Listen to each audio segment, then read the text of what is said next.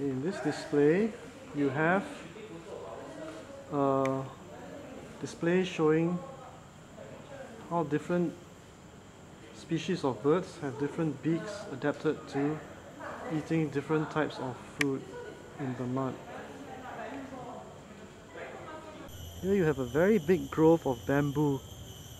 Now the name of Sungai Buloh actually comes from bamboo because the Malay word for bamboo is buloh and I suppose there were bamboo groves growing here and that's why they named this place the Bamboo River, Sungai Buloh. You see how wide the branches of this bamboo grow all the way to there. Okay, here you have a small monitor lizard in the bushes. They can get quite big here. If you see a monitor lizard, just look at it. Don't try and touch it and don't chase it because they have sharp teeth and if you try and catch it you may get bitten. Okay, this is called the Malayan water monitor. It is the largest species of monitor lizard found in Singapore and the largest ones of these can actually grow as long as the Komodo dragon although they're not as fat and not as heavy. It's called the water monitor because it likes to live near water and as you can see um, they like to go into water to catch fish and small animals on which they feed. You can see that the monitor lizard has a tongue that it keeps sticking out of its mouth, a long forked tongue like a snake. Can you tell me what the purpose of the tongue is and why does it keep sticking out its tongue? That's something for you to find out. Here you have another large monitor lizard swimming in the pond.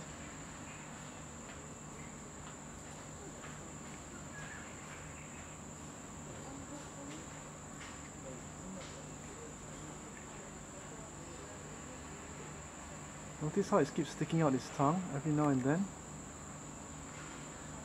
Can you guess what the purpose of it sticking out its tongue is?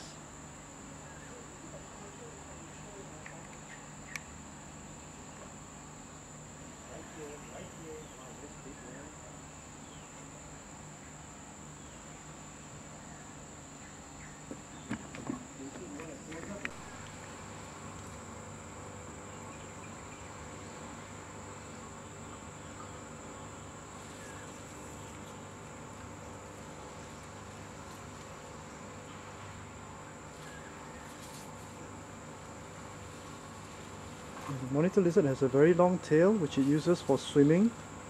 When you see them swimming in the water, they keep their arms folded by the sides of their body and they swim using their tail.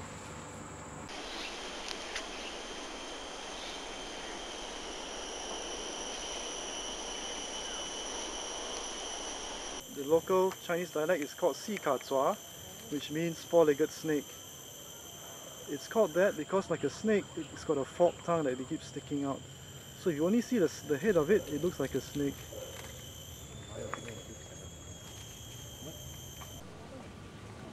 Watch it.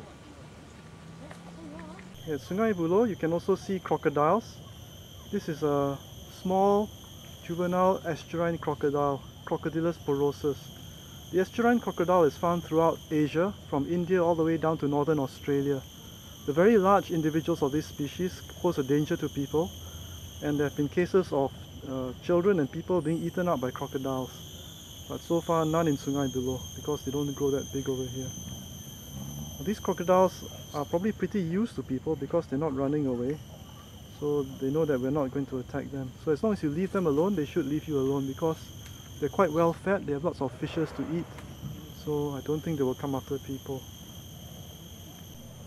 Okay, here you have a good example of a crocodile small estuarine crocodile found in Sungai Buloh. Crocodiles are very rarely seen in Singapore and this is the only place where you can rarely, where you can regularly see crocodiles. The estuarine crocodile can grow very big to 3 or 4 meters long and the very big ones can and have eaten people in the past but that's quite rare. Okay, there goes Mr. Crocodile.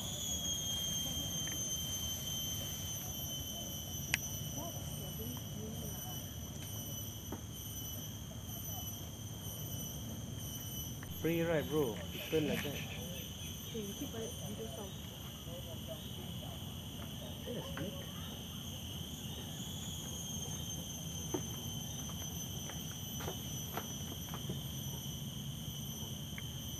The crocodiles are at the top of the food chain in the mangrove swamp. Actually, crocodiles and human beings. Because crocodiles will eat human beings and human beings will eat crocodiles. So both of those are the apex predators here. Now it's at high tide. The tide is very high and it's going down slowly. At high tide you see a lot of crabs climbing up on the trees like these two crabs here climbing up this slanted mangrove tree. Why do the crabs climb up the trees at high tide? That's something for you to find out.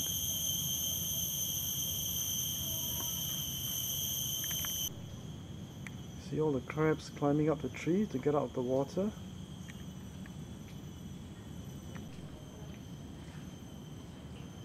See at high tide the water comes up and covers almost all of the roots of the tree and these tree climbing crabs climb out of the water and stay above the water line until the tide goes down.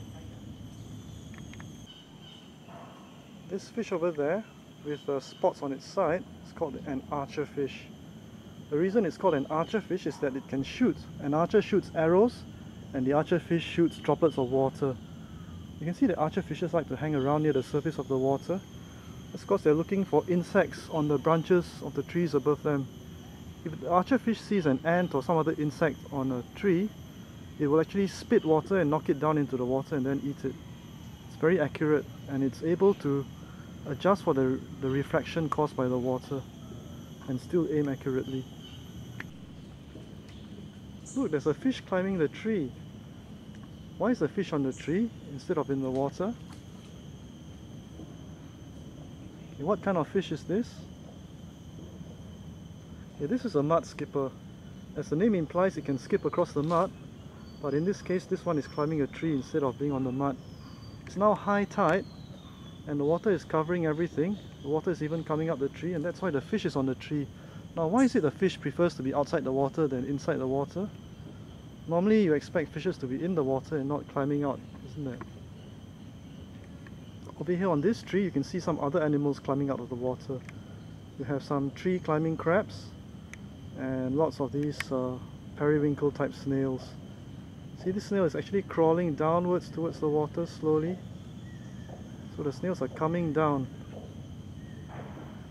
The tide is actually slowly going down but I don't know why the snails are coming down. It's just passing by the leg of that crab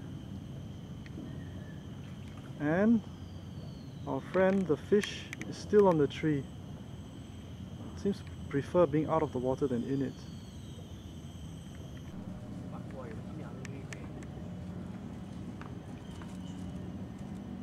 It's now high tide.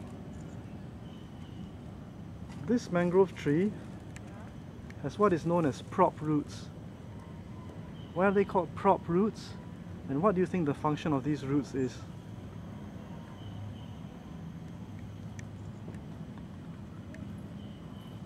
mangrove tree with prop roots. Okay, if you look north from Sungai Buloh and you see some buildings across the water, those are actually in Johor in Malaysia, across the Straits of Johor. So you can see how close Singapore and Malaysia are. During the Second World War, when the Japanese invaded Singapore, this is where they came across from Johor, at this part of the Straits, because here it is very narrow. You can see for yourself how close the buildings in Johor are. So they came across by boats into this area and they overran the Australian defenders and this was the start of the end for the fall of Singapore during World War II. This is another view of a set of prop roots on a mangrove tree. You can see how tall the tree is that is supported by these roots.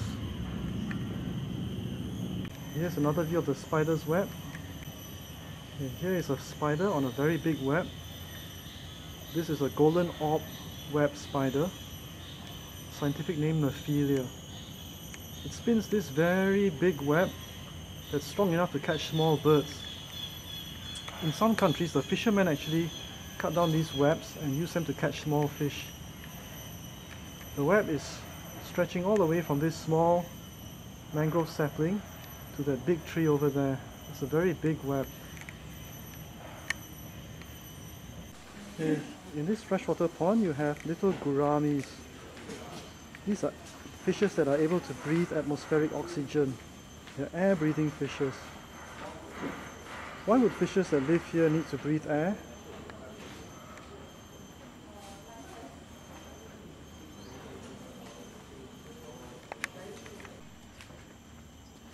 Here you have a group of gouramis in the shallow pond water. Gouramis are able to breathe air.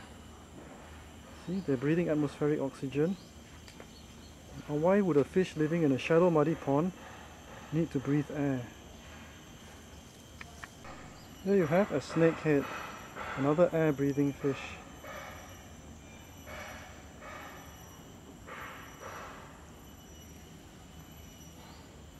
There you have a snake snakehead.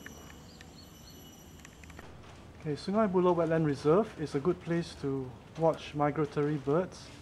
These are wading birds because they wade in the water. They've got very long legs so that they can wade in the water and the body of the bird is still out of the water. It doesn't get its body wet. Okay, here you can see some white colored egrets roosting near the water's edge.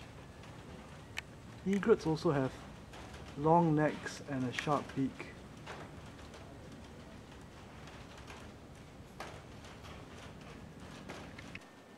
This is another kind of tree, roots of mangrove tree. In Malay, this type of tree is called api-api, which means fire. So Sungai Api-api in Pasir Ris is named after this tree, with the pencil-like roots called pneumatophores. Pneumatophore means air root. These roots help the tree to breathe, help the roots of the tree to get oxygen in the mud, because mud is very little oxygen, mangrove mud.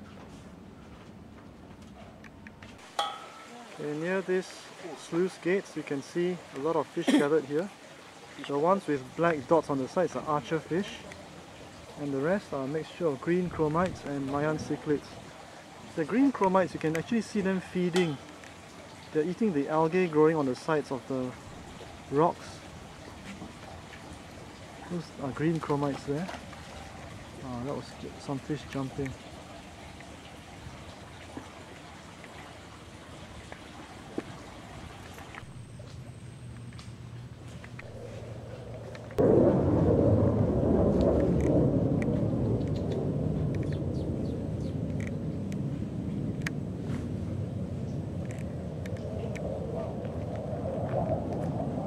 Following us. It is right. It looks like You don't believe, huh? You see, we walk, he'll walk with us. Buddy, buddy already, man.